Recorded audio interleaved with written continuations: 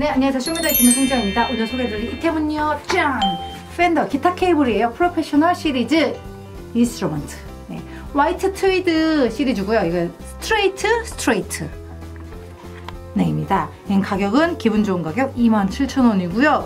어, 우선 Fender에서 이 되게 안정적이고 유연한 네, 그런 Fender 프로페셔널 시리즈인데 얘는 우선은 품질 자체가 전체적으로 다 고품질로 되어 있고요. 외부 환경에 좀 영향을 좀 덜 받게끔 네 그렇게 좀 투명하게 그런 사운드를 유지시켜 주는데 한 몫을 하는 케이블입니다.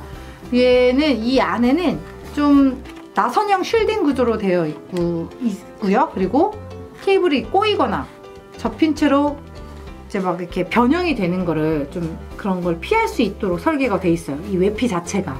그래서 뭐 스테이지에서나 스튜디오에서나 좀 더 깔끔하고 좀 더 정리도 좀 잘 되는 그런 케이블로 되게 유명한 이 트위드 케이블입니다. 얘는 다양한 길이하고 connection 옵션이 가능한데 얘는 우선 스트레이트 스트레이트고요.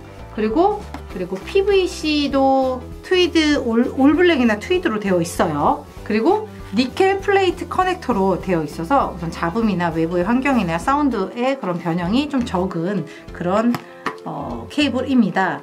어, 10ft니까 한 3m로 되어 있네요. 네, 3m네요.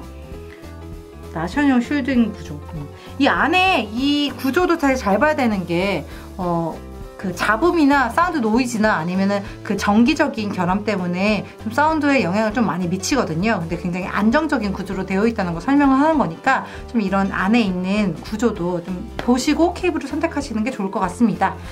27,000원에서 굉장히 좋은 고품질의 케이블을 어, 여러분들 사용할 수 있으니까 어, 굉장히 사운드에 민감하시거나 그리고 사운드에 어, 관심이 많으신 분들은 굉장히 좋은 선택이 되겠죠? Fender 기타 케이블 Professional Series Instrument 여러분들 갖고 싶으세요? 그러면 가지세요.